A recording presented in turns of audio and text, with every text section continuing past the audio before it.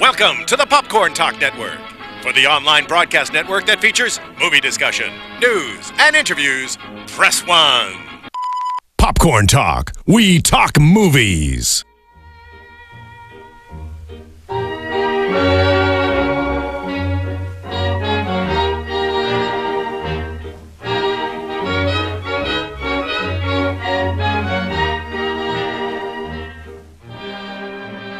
The Popcorn Talk Network, the online broadcast network for movie talk, this is Historic Hollywood, spotlighting the most influential and founding members of Hollywood.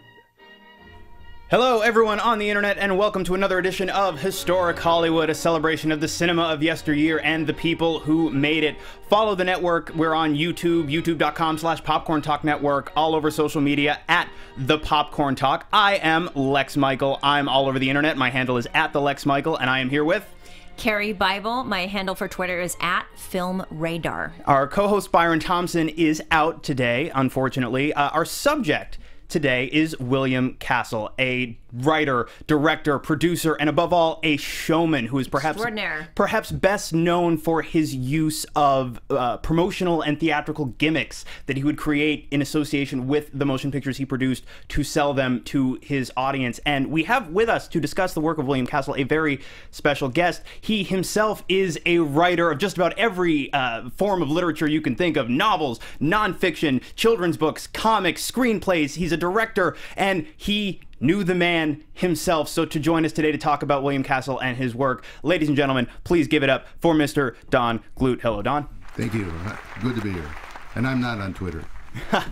So, uh, so uh, unlike myself, Don, and unlike Karie, I'm I'm assuming you met William Castle. Yeah, I met him the first time. I met him a number of times. I met him the first time, though, when I was living in Chicago. I was a teenager. And I got this letter out of the blue one day from the National William Castle Horror Advisory Board and Fan Club.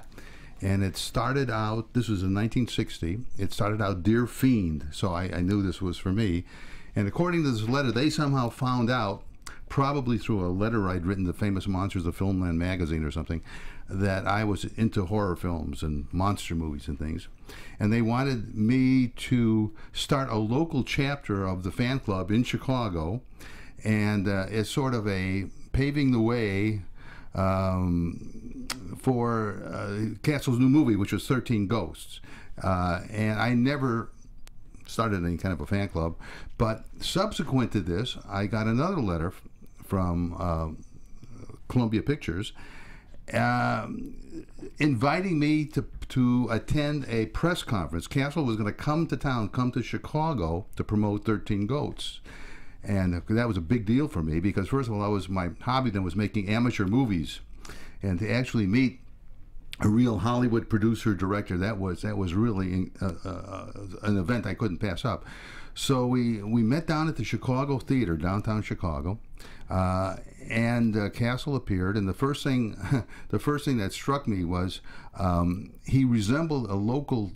Uh, auto dealer who did commercials on TV named Jim Moran. So I thought Jim Moran, the courtesy man, and I that I thought that's who he looked like. That's who he reminded me of. Sure. But he was this warm guy, uh, friendly guy, and we, we were in the we were in a like a conference room at the theater, and um, one of the first things he wanted to know was if we had seen the movie that was playing down the street, which was Alfred Hitchcock's Psycho, and he wanted to know what we thought of Psycho. Of course, his next movie after Thirteen Ghosts was Homici- Homicidal, which was a Psycho type movie, but um, he wanted to know if any of us would like to promote the movie.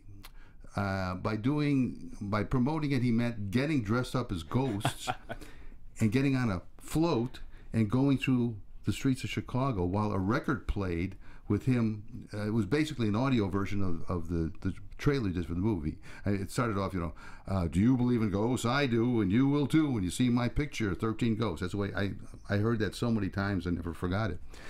And um, so of course I wanted to, to do that.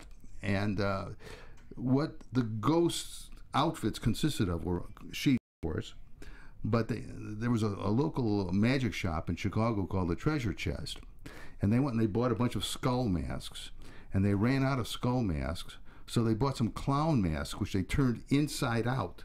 And I said, I'm not going to wear one of those things. That was the lamest thing I ever. And I was making these amateur movies, and I was. Um, one of my role models at the time was Lon Chaney Sr., so I was doing all my own makeup. So I said to the guy who was representing Castle, I said, Can I do a makeup? And he said, You think he can do it? And I said, Yeah, there's a character in the movie called Dr. Zorba who was like this decomposing corpse type of thing.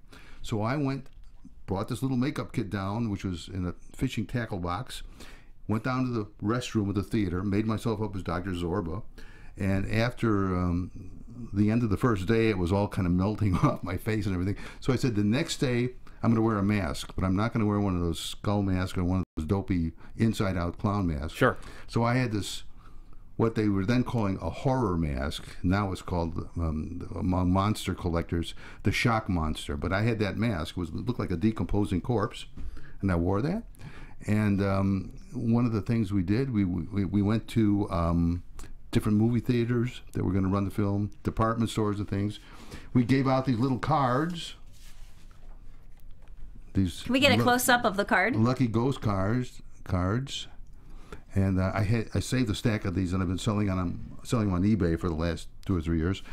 Um, but we went through, we actually went through the Republican National Convention was when Nixon was running against Kennedy, was was being held in Chicago that year. so we went to the convention, and the placard suddenly changed from "Come Say 13 Ghosts" to put a ghost in the White House. and we went through there, and uh, of course we were all Chicago Democrats at the time, so we were all, we were all there yelling and promoting Kennedy and saying Nixon, Nixon, and things like that. And uh, so that was a memorable thing for me. So uh, that's the first time I ever met William Castle. Sure. And that actually is a perfect example of the type of thing that we're referring to when we talk about these gimmicks that he would employ.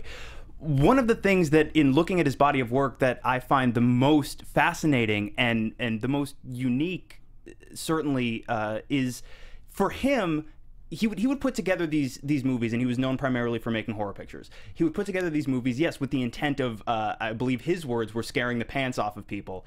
Um, but for him, the show wasn't limited to what was on the screen. He would try and create an experience using various techniques, both inside and, and you know, like you were saying, outside of the theater, to enhance the experience, to draw his audience in more fully, more closely, have it uh, be more a, a fully engaging, immersive experience than just sitting in a theater and looking at pictures on a wall. And by doing that, you know, he was one of the only directors or producers of that era, except for maybe Alfred Hitchcock, who people knew, who recognized, who knew him by name, they knew him by what he looked like. It was like a brand, if you will. Yeah, because he would appear in the films. At the beginning, he would say, "I'm going to, I'm going to show you how to work the." By the way, this is one of the um, ghost viewers from from Thirteen Ghosts. If you were autographed by Castle, um, if you were afraid to look at the ghosts when they came up on the screen, you looked through the blue, and then if you weren't afraid, you looked through the red, and you would see the ghost. And I was not afraid. I, I looked to the red, but um, he would come out on the screen, and he would be sitting there in a chair, you know, with a cigarette cigarette holder, and he would show you how to work this, or he would explain explain the gimmick, and um, so people knew who he was. He was sort of a celebrity within his own movies. Sure, uh, and for for those in our audience listening to the audio only version of the show, the Ghost viewer looks a little bit like picture the uh, older 3D glasses with the one lens red, one lens blue, and it works similarly to those, except that you look with both eyes through one color. Right.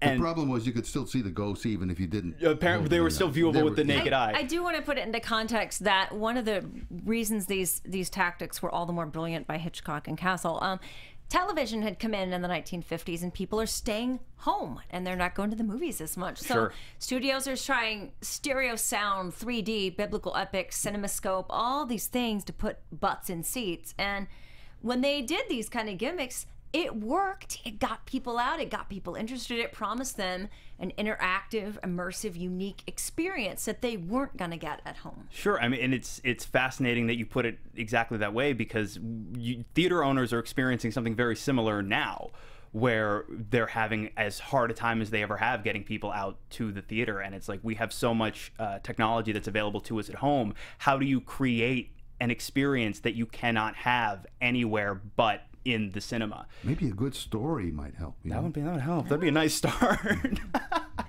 um, and so these ideas, this this inspiration to to make your experience, to make your story bigger than just what the audience sits down and buys their ticket to watch. We see examples of this from Castle going back quite some years before the horror pictures that he would eventually become known for. Uh, he, it's interesting to note, he was born uh, April 24th, 1914, in New York, New York, uh, but by age 11, he had lost both of his parents.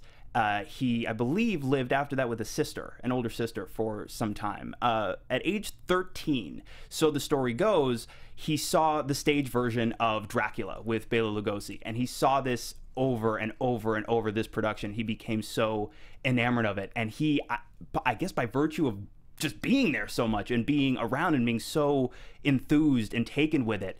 Uh, eventually, Lugosi himself recommended young William for a, a job, a technical behind the scenes position in the touring company of that production, which of course was great practice and it was great immersion for him uh, that that he would learn from, he would take with him, and he it would inform much of his later work. But there's a story that I, I want to say is maybe the first big example of him employing one of these gimmicks, and we were talking a little bit about it before we we got on mic, and it's a story where uh, in the early 1940s, uh, Orson Welles is going off to make Citizen Kane, and William Castle gets in touch with Welles, and he rents the Stony Creek Theater from Welles while Welles goes off to make his movie.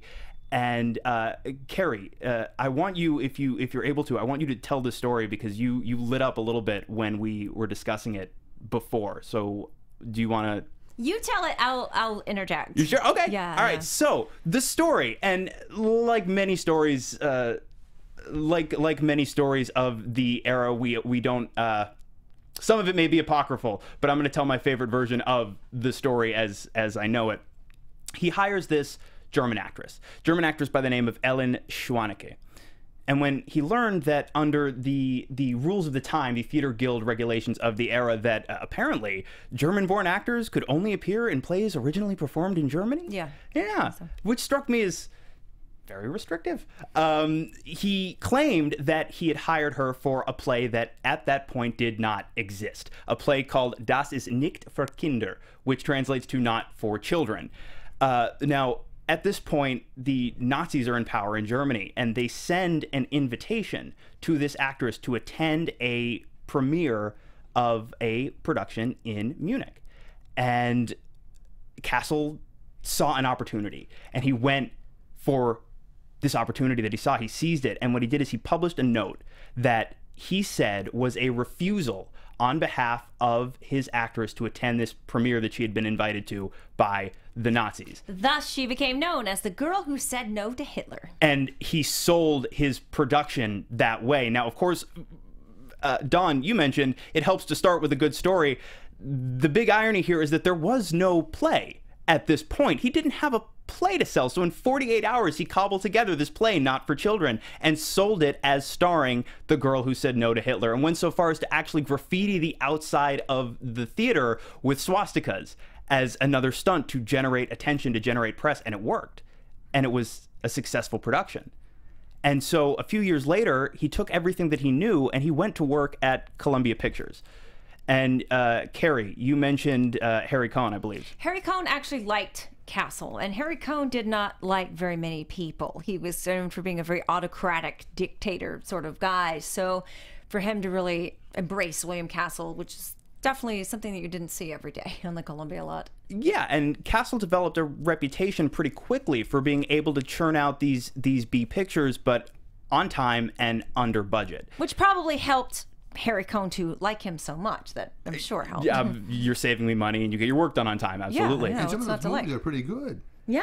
Th- those Whistler films. I wish somebody would put those out in a box set on DVD or something, uh, or Blu-ray. That I mean, those are really nice, entertaining movies. They did some of the Crime Doctors, did a lot of westerns, did a lot, did some 3D movies. So, if you want to count that as a gimmick, he was doing gimmicks before he did the horror pictures. Sure. Yeah, and uh, also of note, in 1947, he was uh, an associate producer on Lady from Shanghai with Welles. Um, And Rita Hayworth. and Rita Hayworth. In 1957, and this enters us into the era that we're going to be focusing on, uh, he decides to go off on his own. He's not satisfied with the the creative limitations imposed upon him by working within a studio, he goes off and forms a production company with his associate Robb White, and they announce their intention to make five films over the following 16 months. And the first of those was Macabre, and he mortgaged his house to finance this movie. Um, but Macabre is uh, this this first one on his own right out of the gate is is one of I would say the more uh, well known or iconic gimmicks that he employed. Macabre was, um, you know, uh, you were insu- he, he actually took out an insurance policy with Lloyd's of London that if you died of fright, in fact, I still have my my policy. It's probably expired by now, and obviously, since I'm sitting here, I didn't cash in on this.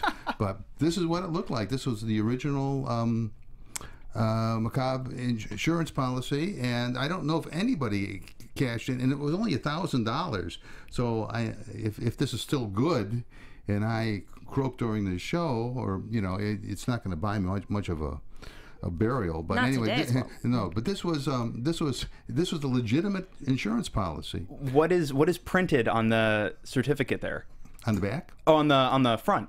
Oh, on the front, um, Macabre, the producers of the film Macabre undertake to pay the sum of $1,000 in the event of the death by fright of any member of the audience during the performance. Beneficiary agreement. In the event of of my decease by fright during the performance of the motion picture, yada, yada, yada. I understand that if I have a known heart, see, here's a catch. I understand that if I have a known heart or nervous condition, the $1,000 is not payable. So he, he had a loophole even for that. Um, and that's th- this worked too, and it it also, uh, if I'm not mistaken, he stationed nurses in the lobbies outside of the theater where they were exhibiting. Yeah, I don't remember. I don't remember that in Chicago. He, he may very well have done I've heard that. stories though about them doing that even in the early 30s for Yeah, some of the Universal horror Frankenstein, they films. So then that's a an old gimmick he probably uh, picked up on. Yeah, but it, this these gimmicks work. Work. even even right away. The first movie that he produced independently, this tactic was proven successful.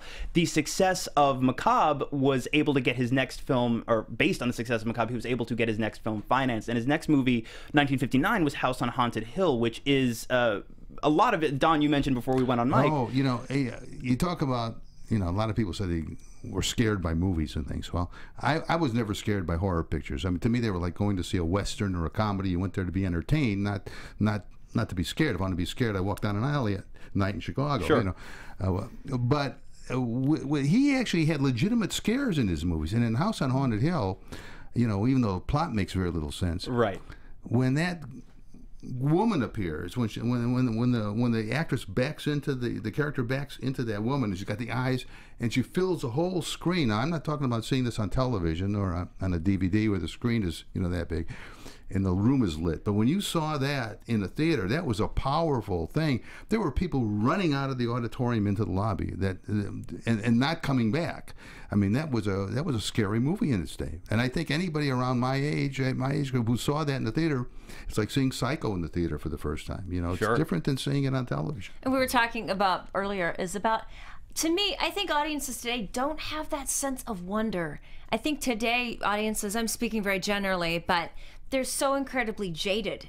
And to me to be younger and or live in another time where you're easily frightened or you can easily be swept away by a scary movie. I think there's something really Sure. beautiful about that. I agree with you completely. I uh, I mentioned to you before we got on mic that I revisited House on Haunted Hill and a, a couple other of Castle's movies within the past week to prepare for the show, and I found myself watching House on Haunted Hill, hearing voices of people that I know that I could imagine sitting and watching the movie and going, "This isn't scary. This is hokey. This is dumb. I don't like this," and thinking to myself exactly what you're saying. We've gotten so cynical, we've gotten so jaded, we've we've gotten so used to as an audience putting ourselves so outside the story that we're meant to be experiencing. Because if you put yourself in the shoes of any one of the characters in this movie and you try and experience the story from the point of view of the people in it, it's legitimately terrifying.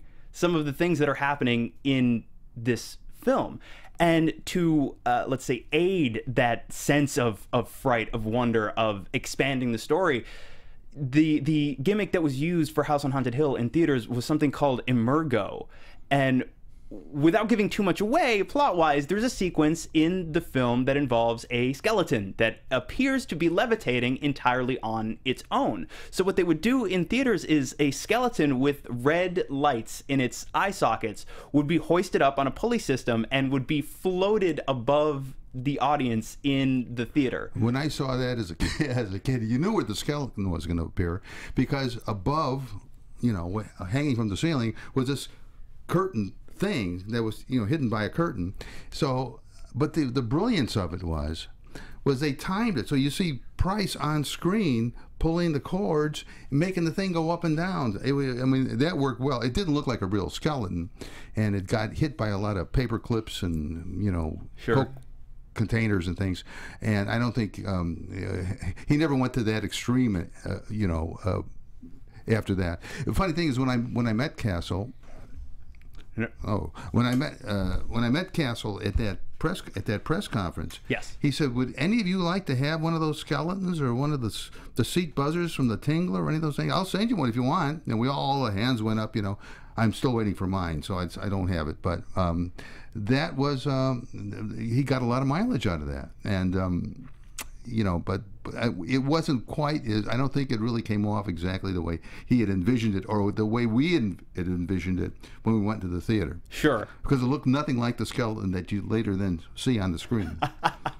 And I can imagine too once once people knew that it was coming and knew what it was that it was part of the show, like you say, like you got oh, we were waiting for it. And we you- were waiting for it. and then you've got other objects flying at it, which I think might detract from the fright factor a little bit. yeah, but it was fun. Yeah. Um, and we talked a little bit too uh, before the show about how it, it does seem to be among Castle's works a lot of people's favorite. And I, I wonder if it's if it's because uh, to me it feels like a very very accessible movie. Maybe as you mentioned, every detail of the plot doesn't necessarily make cohesive, tight, logical sense, but there's something very, very uh, enveloping about the story, and it, it's very, very easy to get involved in what's happening to this group of people. Yeah, and I think also uh, he never equaled that shock scene with the woman in the in that chamber, that corridor, whatever you want- whatever you want to call it, in House on Haunted Hill. There were scares and you know, um, you know, things come come out at you when you're not expecting it, and you jump, jump shots or whatever you want to call those. Sure. In his later films like The Tingler, but they never quite had the impact. But I think Homicidal was probably his best of that group of films. I mean that that movie really kind of holds up today. Uh, it, it's it, some people say it's as good as Psycho. Well, and homicidal's interesting too, and we're, we're jumping ahead a little bit. That's okay. Uh, the the gimmick associated with homicidal makes me laugh quite a bit. Um, did you want to talk a little bit about that? Well, I don't want to spoil it for anybody who hasn't seen it because, but the actress who played um, the character we're thinking about that I don't, I don't want to give away here, uh, and I, well, I forgot her, I forgot her name, but she was the original um, Lily Munster, when, uh, named Phoebe, when they did the the pilot film for the the Munsters TV show, with a di- slightly different cast, and she was in it playing a vampire type, Elvira type of character, very slinky, you know, and. Um, and, and she's done quite a few other things. A lot of people don't realize that that she had a, a career beyond the Munsters and beyond um, homicidal. Sure. Um, so But that ending took me totally by surprise as a kid. and it took, I think, Yeah. a lot of other people by surprise as well. Um, you mentioned uh, a couple of minutes ago. You mentioned The Tingler, which was the movie that he made after House on Haunted Hill. And Karie, I know you especially were excited to talk about The Tingler. There is so much going on in this movie that, uh, in addition to the the gimmicks surrounding the theatrical experience. There, there's so much, and I revisited this movie again very recently as well. It struck me how much there is in the movie itself that is designed to work in conjunction with what was happening specifically in the theater. Um, so, did you want to talk maybe a little bit about that particular gimmick? Uh, yeah. I mean, uh, it's of course the, there's a scene. I, just, I I don't know how much to give away, but there's a scene where the Tingler gets loose in the theater, and then Vincent Price is trying to track down the Tingler in the theater, and there's a line that says, "Everybody scream, scream for your lives!" and he's trying to get the audience to scream, but they're also trying to get the audience to scream in the actual theater as well as the theater that's in the movie. there's the the screen blacks out and there's a Vincent Price voiceover and you can hear the change too in the way the audio was recorded. You're not hearing uh, the character played by Vincent Price talking to the people in the room he's in, you're hearing Vincent Price talk to you, the audience in the theater, telling you to scream. And the reason we should we should tell our audience for those listening who maybe haven't seen the movie, uh, the Tingler, uh, the title of the film refers to this creature that all humans have at the base of their spine that reacts to fear and will essentially what is it a constriction that it does? It's like well, a it's like a a mass that goes up your spine up to your you know skull and it looks like a giant black lobster basically. A little somewhere between a giant black lobster and a, a cockroach looking thing. Yeah yeah. And apparently it is removable as as Vincent does in the movie during an autopsy which he has his autopsy lab in his house as as one does I assume and um yeah of course and it's I love Vincent Price so much, so this movie was so much fun for me.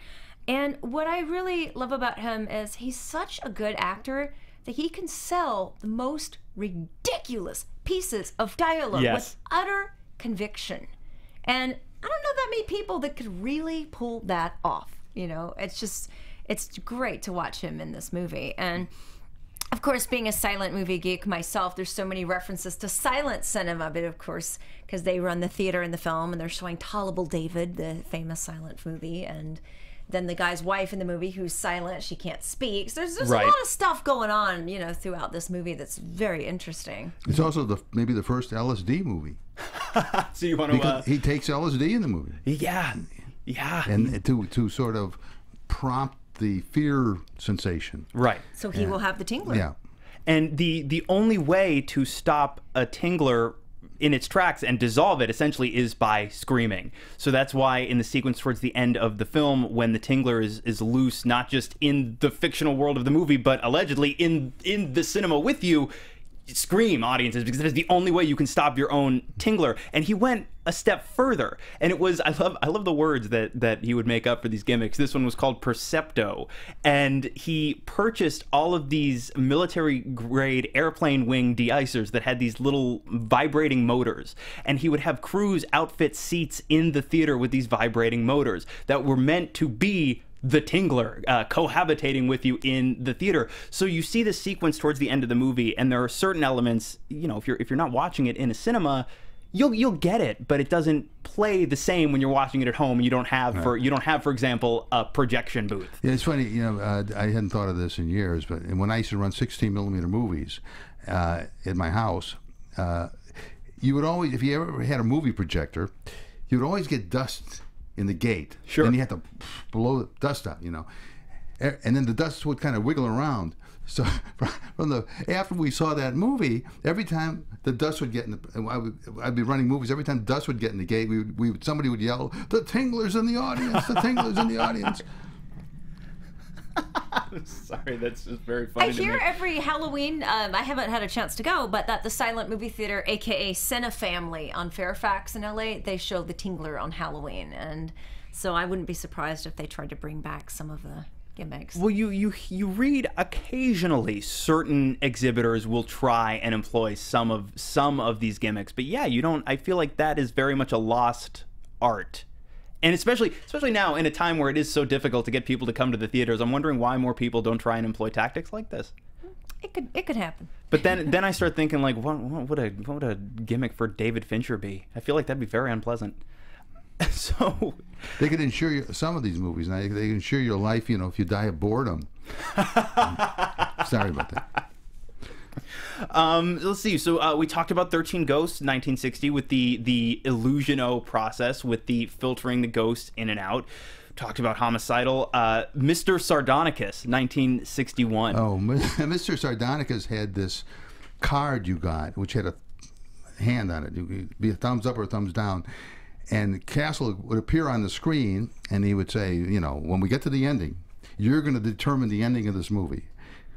If there's enough thumbs up, he'll live. Enough thumbs down, he'll die. And we got to that point in the movie, and then Castle appears on the screen, and he starts counting on me. Oh, oh, there's one in the back time. Oh, oh, almost missed that one, you know and there was of course there was only one ending of the movie, but I would like to see that in some alternate world, that the the the, thing, the ending where he lives, uh, so- and but his his his gimmicks got less costly and less elaborate because that little card was just a little card. It wasn't a a bunch of seats rigged to vibrate, or a, a skeleton's going to you know float over the audience. Sure. Um, and I, I, yeah, that's that's the thing to keep in mind is that I- I can't imagine that these these gimmicks he employed were massively costly, but compounded over time, number of venues all across the country. That's uh, uh, I would imagine, especially if you're hiring plants to scream for example you're buying airplane wing de-icers even even the pulley system to rig up have people do that for the skeleton it's it's an expense for the studio.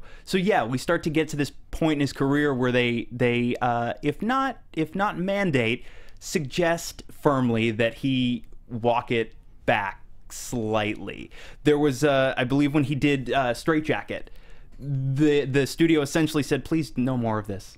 That's enough. And so he he hired Joan Crawford as as his star and would send her out on a promotional tour in lieu of something more flashy. As John Waters said, quote, Joan Crawford was the gimmick.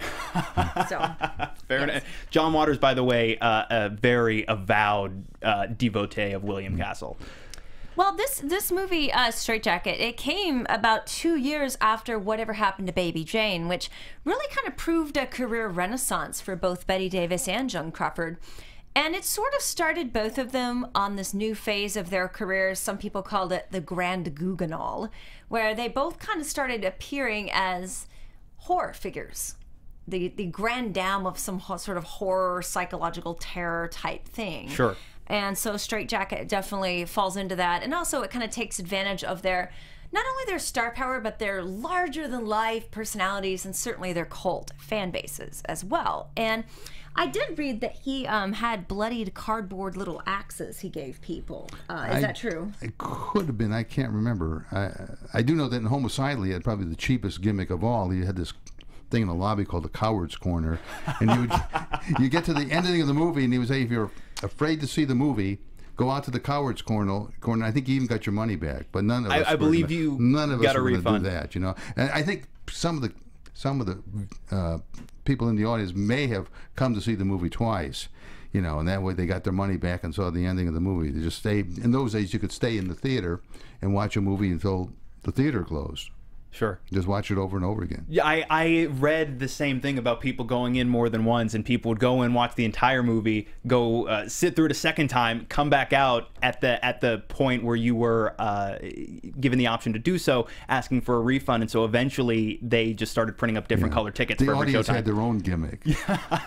but the idea the idea of a coward's corner where you have the option you can get your money back if this is too scary for you fine but we're going you're doing it in front of everybody and you have to wait over here where everyone can look at the people who are too afraid until the movie ends uh, um, so uh, b- between homicidal and straitjacket there was a motion picture called Zotz and Oh. you have with you Yeah, we got these in the theater. There was these Zotz coins, and I don't remember what what they did or what you uh, in the movie they gave you some kind of magical powers or something, but I don't know what the purpose of uh, the audience getting things other than to get a souvenir of the movie or if, I don't think there was like any interactive kind of thing going on with Zotz.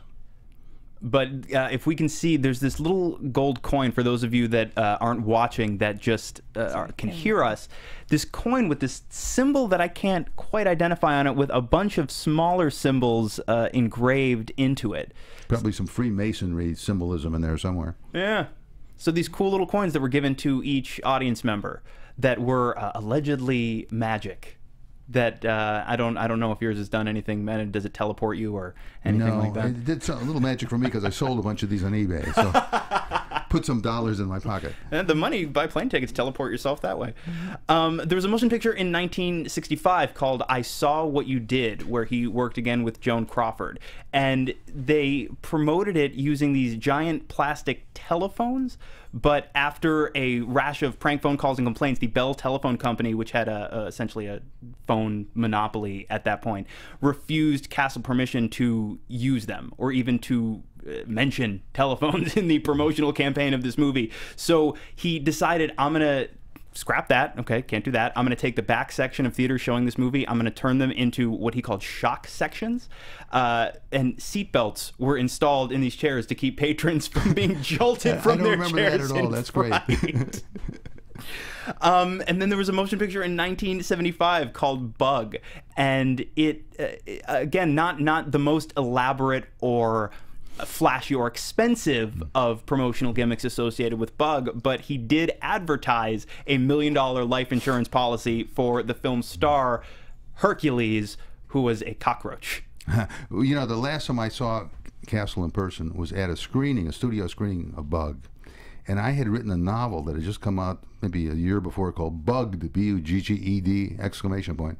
And I thought he was, I went in there thinking he stole my story because the title was so similar. And then I went up to him and I said, I was one of the kids on 13 Ghosts floating, blah, yada, yada, yada. And I said, I have a novel called, he said, well, maybe we can make that as a sequel. But that was the last I ever heard from or saw William Castle. Well, and that movie was made only a few short years before he passed away. Yeah. He passed, that was 1975, and he passed away of a heart attack in 1977. When does Rosemary's Baby fit in there? So that was the next thing I wanted to hit. Rosemary's Baby was released in 1968, and Oh, mm. and that so it fits in between a lot of these. There was a, a pretty considerable break, a 10 year break, in fact, between I Saw What You Did and Bug. Uh, I Saw What You Did was 65, Bug was 75. So uh, if I'm not mistaken, William Castle had purchased the rights to the Ira Levin novel, I believe, before it was even published. And he really wanted it to be, for him, a transition into A pictures. He's like, I, I really enjoy the work that I've done, but I want to take a step up. And I, I can imagine he had certainly he had he had fans, but there's a you know a certain level of quote unquote prestige associated with let's call it the next tier, if you will. So he brings it to Paramount, and Paramount says, "Hey, we love this. You're not directing it," and they gave it to Roman Polanski. So he produced the movie, and he has a cameo in the film, I believe, uh, if I'm not mistaken. He's outside a phone booth while while Mia Farrow's uh, very yeah, you, panicked I think you think it's Ralph Bellamy or something. I forgot who the other actor was, and you see him. It's like he's listening to her make the phone call or something. The way I remember it, and then he turns around. It's William Castle. Is that? I, I believe that's that's correct. And so he produced the film, and he was hoping that uh, he could piggyback on the success of this a little bit because you know, okay, I wasn't able to direct this, but this is this is an A picture. This is very well received. I brought it to the studio. It's got my name on it, but he wasn't wasn't really able to spin it into too much that was that much bigger. Um, and right after it was released, if I'm not mistaken, he suffered kidney failure. And by the time that he recovered, the momentum, whatever momentum there was from Rosemary's Baby for him personally, had had more or less dissipated. So that's why he ended up he went back and he made more well a, another B movie, which was Bug, and then in '77 passed away. Uh, but it, his his career is so fascinating to me just because I think he yes he was a he was a writer, a director, a producer, but he was first and foremost a showman, just consummate showman in a way that we keep we keep reiterating. Uh, you don't see, you rarely saw it then. You certainly don't see it now. Now I think most most studios' idea of a gimmick is well let's let's post convert it to 3D and let's charge more for tickets.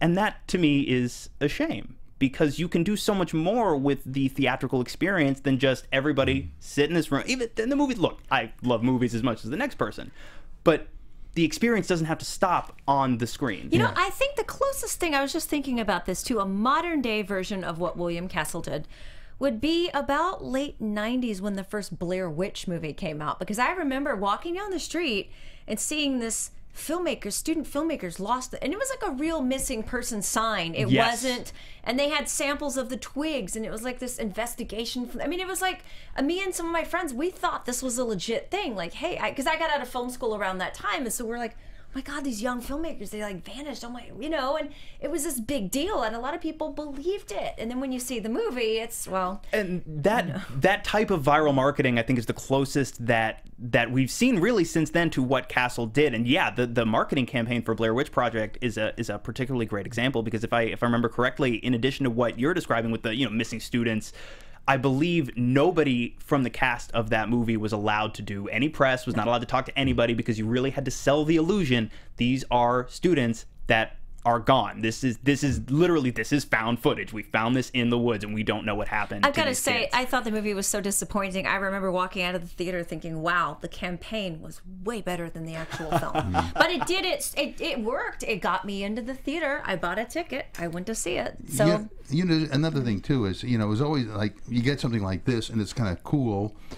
Walking away with something that's connected with the movie that you can take home. Sure. But now it's merchandise. Yep. You can get every every action figures and model kits and whatever every, everything under the sun, which they didn't have back in those days. Sure. So I think in some ways the merchandising has sort of replaced some of these gimmicks. The- these types of gimmicks anyway. Yeah, the last one that I really remember grabbing me was for The Dark Knight in 2008. There was a very big, very, very big, very popular viral marketing campaign associated with that movie. Much like, you know, you can't, everybody knows that Batman isn't real. I think everybody knows that Batman isn't real. So you can't necessarily sell it the way you could try and sell Blair Witch Project as a true story before people saw it. But there was a, a huge amount of both online and real world marketing gimmickry that was employed. And talking about uh, don being able to take something physical that you can walk away with i remember there were some showings of that movie uh, where you could you would be handed and i have one somewhere and i don't know where it is but you'd be handed uh, a replica of a newspaper from gotham city detailing you know like, uh, from the from the world of the nolan movies so at that at that time. So it'd be you know is is batman a, a savior? Or is he a menace? Who's who is he really? And then stories about Har- harvey dent our new da et cetera et cetera et cetera. I, I remember too. Uh, you know, back in the late 1950s, some of the movies like, um, and then into the early 60s, Frankenstein 1970, and then the Hammer film remake of The Phantom of the Opera. Uh, First Men in the Moon. They gave you newspapers. They, Sure. they were like you know four pages, you know, folded, uh, with uh, looking like newspapers. You know, the Phantom. What, who was the Phantom? Yada yada. What is Doctor Frankenstein doing? And um, and they just handed them out. They had stacks of these in the, in the lobby. Yeah. Yeah. Um, and you don't you don't see that. And it's like you look at you look at how big when when these campaigns work. And it's telling that the two examples that we we uh, in the more modern era, or not let's say 90s forward, uh, being Blair Witch and The Dark Knight, those campaigns were wildly successful, and the movies were as well. So I'm wondering why uh, why you don't see any of that happening. And I don't, I don't, I don't necessarily know that you have the immediate answer. I don't know how many studio heads either one of you can speak personally for, but I'm wondering why. some I think there's certain movies maybe that lend themselves more to a campaign of that nature than others. Oh, sure. That could be part of it. Um, it could be that they. I don't know. Studios are a lot more risk adverse today than Absolutely. they used to be because used to be they made so many movies that you can kind of afford to, you know, have some flops. But today, when a studio is making what eight to twelve movies a year, maybe they have to hedge their bets. Sure, sure. Um, another one that just popped into my head that is we you mentioned Hitchcock a couple of times. Uh, Psycho is an example of that type of marketing where if you I believe if you came in after the picture had started you wouldn't be admitted. Psycho is, is, is like a, a, pivotal point in movie viewing history because when I was a kid, you went to the movies, you didn't check to see what time the movie started. You just went. You could be there for the last five minutes of the movie and Sure. you sat there and you watched it. And then when the movie came on again, you would wait until that last five minutes to say, Here's where the expression comes in that we still use today. This is where we came in. And you get up and you would walk out. Yep. But Psycho put in people's minds the idea of seeing something from the beginning and watching it to the end. Yeah, and and that to me, it's interesting because uh, there was in in my research, I had read in a couple of places that Hitchcock himself was a fan of Castle's work, and it was the type of work that Castle was doing that inspired Hitchcock to make a film like Psycho in the first place. So it's interesting to me that you say when he made Sort of come full, full circle then, yeah. it's interesting when you say homicidal is a bit of him doing a riff on on a Hitchcock type movie, Psycho in particular. It's interesting how one imitates the other in, in like you say in like a circular fashion. So yeah, that's that's William Castle. That's that's William Castle, the showman, the the inspired uh, puppet master, if you will, who who did these these wonderful uh, exhibitions of motion pictures that gave life to them beyond beyond what was on the wall. Um, did you have before we before we move on? Did, I wanted to ask, did you bring any additional items with yeah, you? I have one more. This is from the press conference that we had at the Chicago Theater. This was the one of the other things we got an autographed photo of, of Mr. Castle, and we also got a one sheet poster from for 13 Ghosts, Cool. which I sold on eBay. But anyway, Castle's the gift that keeps on giving. yeah, yeah. And it, it's uh, to jump back to something, Don, that you said uh, near the top of the conversation. He was, uh, especially uh, for a producer of his time, he was very much a personality. He was, and I, and I met his daughter a couple times, and I get the idea that he was really a good family man too. Sure. loved his kids; they loved him. He had a great sense of humor at home and everything. I mean, he's probably what you saw in those introductions when he's showing you how to work the the punishment pole and all those things. uh, that's probably the way he was, Yeah. and that's the way he seemed to be every time I've talked to I talked to him. Yeah, there's a like I said, I revisited The Tingler again pretty recently, and he comes out at the beginning of that movie, much in the way that uh, the original Frankenstein film was introduced, with an on-screen uh, a person issuing a warning that for some audiences this might be a little too terrifying, and it's it's Castle himself doing this introduction, and he seems so warm and engaging and very like, okay, I like this guy. And he didn't take himself real seriously either. He's got the skeleton sitting in the chair next to him and all these kind of things, little things he does, little bits of business. Those were great films, and I think most of his fans like the earlier. I don't want to say cheesier, but like the less prestigious ones, uh, you know, not of the quality of Rosemary's Baby. They like those early films, House on Haunted Hill, um, The Tingler, uh, Homicidal. You know, in LA here, we have so many places like the Egyptian, UCLA Archive, all these different New Beverly screening houses. And I have never heard of any of them doing a full on William Castle retrospective. That would how great would that be to see these films with an audience, especially if they could bring back a few of the gimmicks because I always telling people on our show, you know, please see these movies. Yeah. But to me, watching William Castle movies alone at home isn't the same. So if hmm. you if you see these movies, invite a whole bunch of your friends to your house, get some beer and pizza or whatever, and have a little William Castle Get party. your get your uh, airplane wing de-icers ready to put of on a little seat. eBay, skeleton, you know, eBay. put a towel over it or something. But it's just they're, lend themselves though to audience participation. They Absolutely, really do. absolutely. And, and in Macabre too. Macabre is kind of a boring movie. It's not really much of a horror picture. But I remember at the end when you saw that doll made up to look like a decomposed baby. You'd never seen anything like that in a movie before. A, a decomposed corpse that looked like something out of an old EC horror comic book. It was. It was. It, that had a lot of impact. Sure.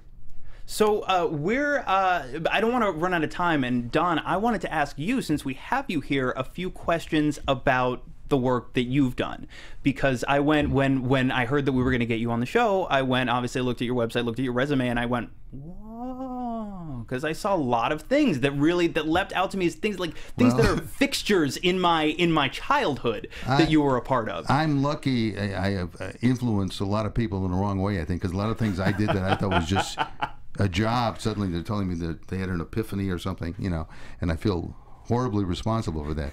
But um, yeah, I have done a lot of things. I've been a lot of. I was a musician. I was an actor. For, I mean, my job, if you, if you have to put it on a resume, is avoiding getting a real job. so I I've been lucky. I've been able to make my living over the years of doing things I like that no, people would normally have as a hobby. I don't have any hobbies.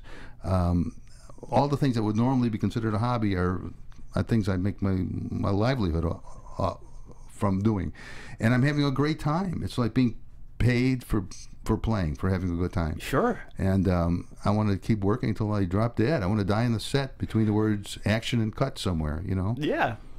Yeah, I know I, I know exactly what you mean. There are there are a few things that jumped out to me that I did want to ask you about and I apologize if there's some of the same things that you get asked about whenever you get asked questions. Um look, I, I'm a huge nerd, so the first thing that jumped out to me immediately was you wrote the novelization of The Empire Strikes Back. That's correct. Yes. So I wanted to ask you, how did that come about, and what was what was that process like? It's a long. Uh, how much time do we have? Oh, we've got I think 10, 10 15. Basic. have it back. The, the, Oh, the, sure. the short answer is they just they asked me to do it, and I and I they made me an offer, and, and I took it. You know, um, I had been involved with some of the Star Wars stuff, uh, comic books and things, and I was going to be writing some of the newspaper strips and.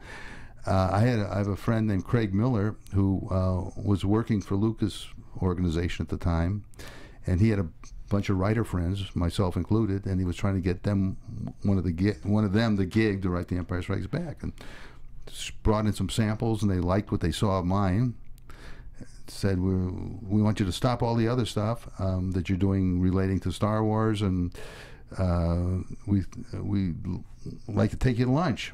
And you know, one thing when you're a freelancer, you never turn down a free lunch. Oh, sure. And they took me to a Japanese restaurant uh, in Studio City, and made me an offer. It wasn't a great offer, but I looked at it more as a door opener. I mean, to this day, that movie is how many decades old already, and people still know what it is. So Oh, yeah. I can use that as a sort of a uh, good thing on my resume. Well, still it's, in- and it's still in print. circled back around against. I think Star Wars is about to be the biggest thing on the planet again. So what was once once you had the the assignment writing this and you'd accepted the offer, what was that process like? Oh, it was a nightmare because uh, I I was sworn to secrecy, and they were like, really, you know, if I would have told anybody what, you know, Luke was the son of Darth Vader, or And you whatever- knew that or well sh- before anyone else yeah, did. or oh yeah, I knew that. Yeah, uh, sh- um, if I told anybody the secrets of the script or whatever.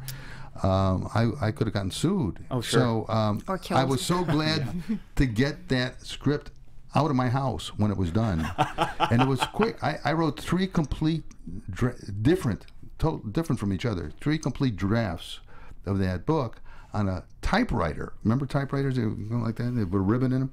Um, in three, in six weeks, and the um, we were so under the wire, and it was done so fast that it was due on a Monday. That Sunday night, I was in my office in my house writing, write no carbon papers or anything. That's another thing people don't remember the carbon papers. and the editor was sitting on my couch. I was married then, and my wife then was. I would, she would take the pages right out the typewriter and run them into the editor, who would then do the, the editorial corrections. That's how fast it was. So. Um, and everybody was you know paranoid about paranoid about letting any of the secrets out or what i'm not supposed to know that don't mention that character's name i'm not supposed to know it you know, Sure. all this kind of thing so i was really glad to get it off my back Sure, I can I can imagine that. What do you off the top of your head? Do you know what was the release window like as far as its uh, relation to the release of the movie? came out it- one week before One week which made me wonder to, to this day um, why do people read novelizations because if you read it before the movie comes out, it spoils the movie. Yeah. If you read it after, well, you already know what's going to happen. And I, I the, the director, that Irv Kershner, I, I was at a party once, and he was there, and I said, you know, there's two versions of your movie, and he said, um, what do you mean? I said, well, there's the movie you directed, and there's the movie I saw in my head before I saw the movie, which then led me to think, um, because when I saw the movie, the first shot came on, and I said, oh my God, it's different. Everybody who's read that book before they saw the movie created in their own imagination a different version.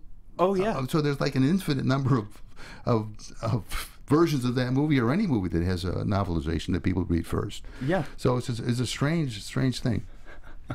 Um, I also saw when I was looking at your resume, uh, my eyes, as they often do, drifted and locked onto the word comics on your resume. And I saw some of the work that you've done uh, both for Marvel and DC Comics, other publishers as well. But it, the, the Marvel stuff leapt out to me first. And there, are- there are books on your resume that is Captain America, Thor, uh, What If, The Invaders, you, Ghost Rider. And I, I wanted to ask you, how did you get involved with Marvel? Well, I got involved with Marvel. Um, you know, not what you know, who, not who you know, who knows you. I got, I was friends with Roy Thomas, and when Roy Thomas took over Stan Lee's position as editor in chief, um, he gave me a break, and he, I got a lot of work through Roy. So And then when Roy moved out here, wanting to get in the movies, I got even more work because he he had to, you know, unload some of his his, his commitments.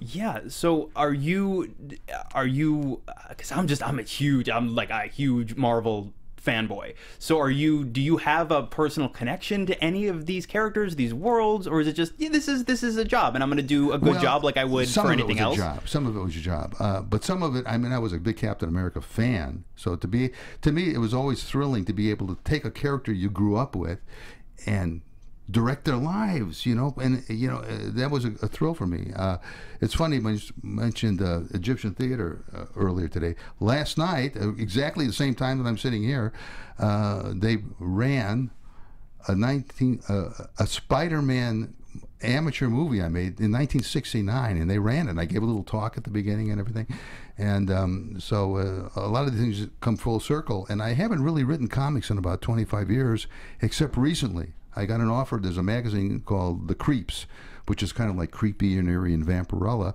which is where I got my comic book start and they wanted me to write some scripts. So I, my the first issue just came out with my story in it, and I have another one coming out, I guess, in about a month or so, whenever the next issue comes out. And they like it. They're trying to bring back some of the old original artists and writers that worked for the Creepy, Eerie, and Vampirella magazines. And is that something that, that uh, our listeners, if they're interested, can pick up maybe your average brick and mortar comic shop? Yeah, I was in a, I was at a sh- sh- shop called Creature Features in Burbank last night, and they they were they had a big stack of them out there. Oh, that's fantastic. That's really so. Oh, you you mentioned uh, the those the the monster characters, and that segues me into the other thing that I wanted to ask you about. Uh, there are a number of uh, writing credits on your resume, both fiction and nonfiction, that pertain directly to the legendary big screen Hollywood monsters, specifically the ones most associated with Universal Pictures. And one name that comes up quite a bit is Frankenstein. Correct. So how what what is the what is the appeal of that world those characters frankenstein specifically to you how did that come about and what what uh what stories do you do you tell like what you, you That's a really long story. we really don't have time for that one today. But I'm making a Frankenstein movie right now. It's in production. It's called Tales of Frankenstein. It's an anthology with five stories. Uh, I have a book called Tales of Frankenstein also, which has about 25 short stories, all taking place in different places and different times and different descendants of Dr. Frankenstein and wannabes and all this. And I took five stories and we shot the first segment about a month ago, and there's a wraparound with the original monster. And um, I just got to come up with some money to shoot the next four. But Sure. it, it, each one is in the style of the era uh, that it's emulating. Uh, for instance, we have one that's set in 1931. Each all the years have some significance in Frankenstein history, and um, because of the color processes in those days, I'm going to pull the color out so it looks like the old two-color process. We have a film noirish one in 1948. I may pull the color out altogether and do do that in black and white. I have another one looks like a Hammer film. Another one looks like a Universal. So it's really going to be a fun project. But we have one segment shot and the wraparound. Is there a website where we can find out more about the project or a Kickstarter Um, page? not not yet. Um, uh, I'm I'm waiting till we get at least another segment shot, and then I don't know. If, I've been financing these myself, so. Uh, do I really want the next segment to be? I've never had any luck with Kickstarter or with Indiegogo or these things. Yeah. So I, it, to me, it's always been a waste of time for me. I, I don't know how to promote them. Uh, I get a lot of likes and things on Facebook, but nobody sends me any money. You know.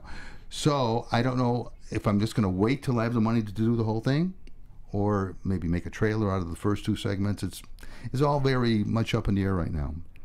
Okay. Um, well, there there are a number of other works that you've done that I would love to pick your brain about. So we would love to have you back on at some point Okay. in the future. Is there is there anything else that you're working on now that you have coming up, or something specific that you would like people to be aware of? Something that that you'd Well- like to put eyes on? Well, I, I I've got three movies. Uh, one is in post production. It's a, a werewolf picture. Uh, one is a Frankenstein movie that's in production, and I'm also working on a. I can't say much about it. It's an animation feature, a big budget animation feature, but also this creeps thing. And I think you might be able to relate to this. My first published story in 25 years is a horror story in the creeps. It's called Nightmare in Nitrate and it's about uh, a guy who makes his living off taking old classic public domain movies and colorizing them and doing 3D trans, uh, tur- turning them into 3D and whatever. And somebody, some unknown person, uh, leaves outside his door uh, the lost film that all the monster fans are trying have been wanting to see, which translates. It's in German. The German title translates as Berlin After Midnight.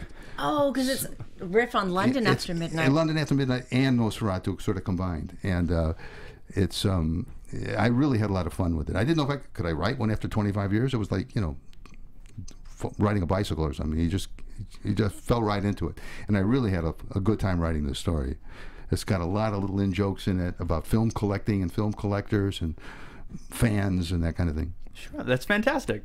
So if people want to find out a little bit more about you specifically, you have a website. Yeah, just my name, Don- DonaldFGlut.com. Okay, and people can go there if they want to take a look at some of the things that you've done, learn a little bit more about you, because uh, listeners, uh, I think it's become pretty clear already. This man is a fascinating career. It's worth using that as a jumping off point, learn everything you can about him. And like I said, uh, Don, we would love to have you back on. lo- I'd love Absolutely. This was a treat. I'm so glad this worked out. This has been great. Thank you so much for being here. And that's actually that's going to wrap us up for today. Thank you, Internet, for joining us for another edition of Historic Hollywood.